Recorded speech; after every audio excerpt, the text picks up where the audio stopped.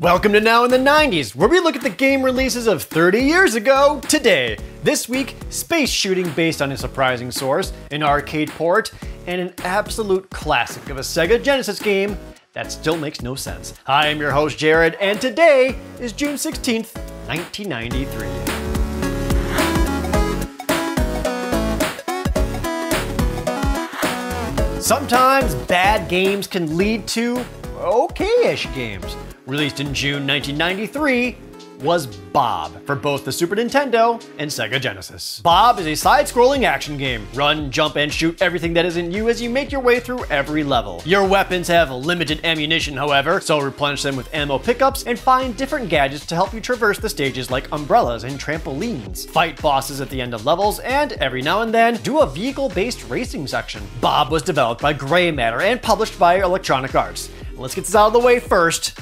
Bob is an acronym.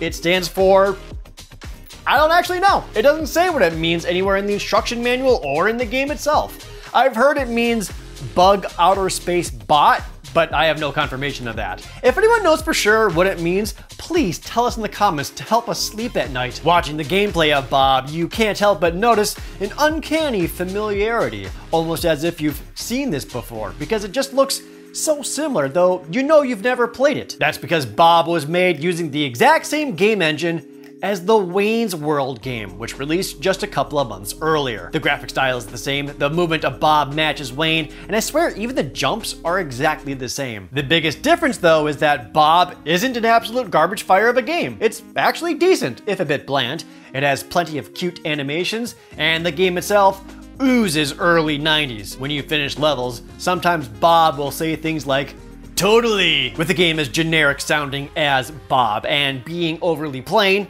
how do you even advertise it? Well, I don't think they figured it out either. This is the only magazine ad they ever did, and it doesn't offer a whole lot of information about the game itself, other than the fact that it says this is Bob and that this is his gun, which is also an acronym? Oh, well great, what does gun stand for? Go under Neptune? Gun, Uber, nice, get up nerd. Bob did get a multi-page preview in Nintendo Power issue 49, which is where I first heard of it. Even as a kid, all I could think seeing it was, eh. Reviews were tepid. Electronic Gaming Monthly reviewed the SNES version with an average score of a 6 out of 10. And the Sega Genesis version getting a 6.25 out of 10 Take that, Nintendo nerds! Bob's only ever official re-release was onto the EA Replay Collection for the PlayStation Portal in 2006, as a filler game or something I guess. More interestingly, in 2008, someone just buying up hard drives on eBay managed to get one that just so happened to have the entire source code to Bob. So now, someone could finally remaster it. Anyone? Anyone? For every Capcom classic, there's a Capcom Forgotten. Released in June 1993 for the Sega Genesis, was Chiki Chiki Boys. Chiki Chiki Boys is a side-scrolling hack and slash game. Travel to the end of each stage, running, jumping, and slashing your sword against all variety of enemies. You can break open walls to find bonuses, collect magic orbs for spell attacks, and sometimes have levels where you're flying or swimming. Collect money and spend them at shops for more upgrades. Fight bosses at the end of each level, and get to the end to save the human kingdom. Chiki Chiki Boys began life as an arcade game in Japan in 1990, developed by Capcom. They licensed the game out for home console ports, with this Sega Genesis one being done by Visco, who is best known for also developing, um, I'm gonna go with Andro Dunos for the Neo Geo, Seriously, their work is super obscure. Now, in spite of the name, Chiki Chiki Boys for home console has a glaring omission from the arcade original. There is no two-player co-op. It is single-player only. However, to make up for it, you can select between the blue Chiki Boy or the red one. Blue has stronger sword attacks, whereas red has higher magic capacity, which you'll ignore because he sucks. Depending on who you ask, Chiki Chiki Boys is either an enjoyable simple arcade playthrough or a dull, boring, outdated, worthless game. Game Fan magazine said the former, with high review scores like an 89% and an 87%, whereas English newspaper The Nottingham Post scored it with a 54%. If you want to play the boys yourself, your best shot is with the Capcom Classics Collection Volume 2 for the PlayStation 2 and Xbox, or the PSP collection. This game was either a huge part of your childhood or it's haunted you for decades, or it's both. Released in June 1993 for the Sega CD, was Ecco the Dolphin. Day 19. I am concerned about the crew. After all, Ecco the Dolphin is not just a game, it is an adventure. The graphics are surreal. They don't want to go into the sea anymore.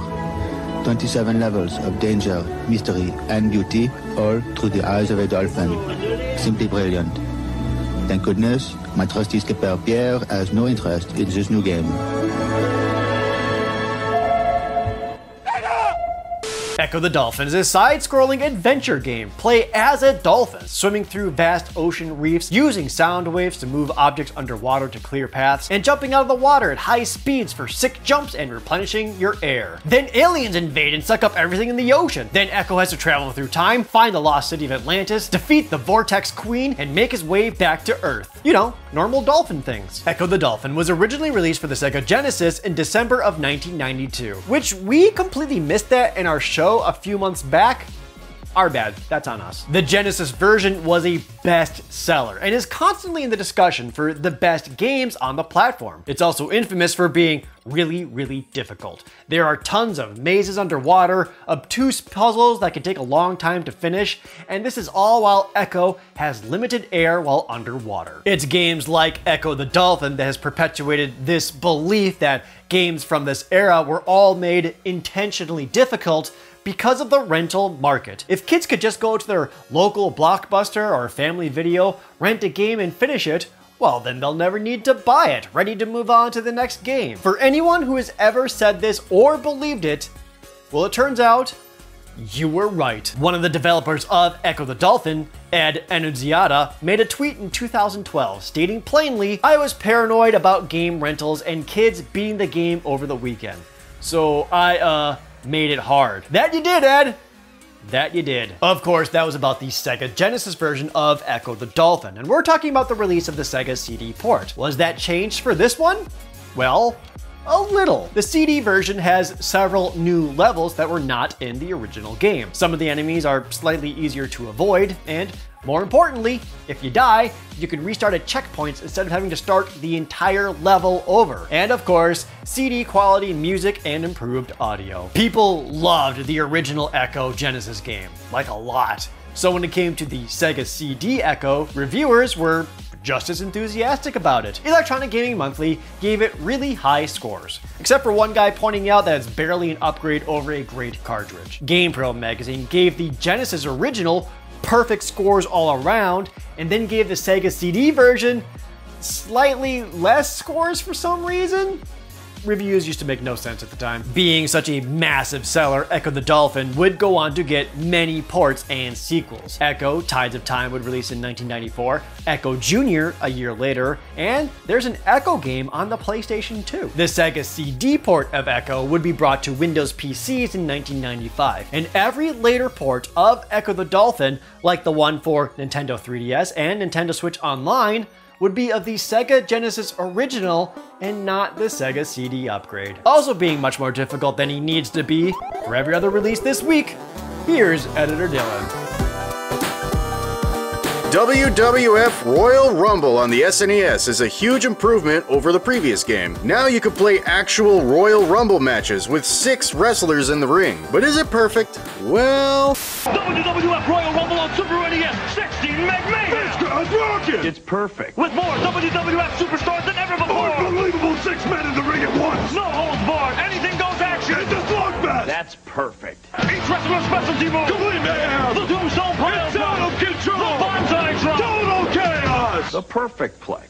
Oh, did you see that? WWF Royal Rumble on Super NES, coming June 8th. Perfect. Yes, it's perfect. Also, did he say June 8th? Oopsie. Conflicting information makes us ballpark what week a game comes out. So if this game should be on last week's episode, Hey, at least we're pointing it out. After all, when has a company ever delayed a game past the date they advertised? Am I right? Dungeon Master for the SNES is one of those games where you think, man, if only there was some sort of device that I could easily point and click with. But even if the SNES mouse did exist, for about 11 months now, it still wouldn't save the monotony of the dull gameplay. it may have been a legend on the PC, but unlike a fine wine, Dungeon Master has not gotten better with age. In fact, it may have turned a little sour. And before you tell me I'm being too critical, I'm just reading the GamePro review. I repeat, GamePro said this. Game, you could shoot me and I'd still give you a 4 out of 5 Fun Factor Pro, could barely muster a slight smile and a thumbs up for it. So if you like Dungeon Master on the SNES, get mad at them, not me. Vampire Master of Darkness is a Castlevania clone exclusive to the Game Gear. At least it is for us in North America, because like Land of Illusion, everybody else got this on the Master System, which is basically a dirty word here. Technically, I should have bleeped out this game and Dungeon Master. Please don't demonetize us. So when you compare Castlevania on the NES to Master of Darkness on the console that shall not be named, it's no comparison. Castlevania wipes the floor with it in almost every aspect. But since we only got the Game Gear version, we should only compare it to the Game Boy Castlevania games. And you know what? If you want a portable action side-scrolling vampire slaying romp through a gothic horror setting,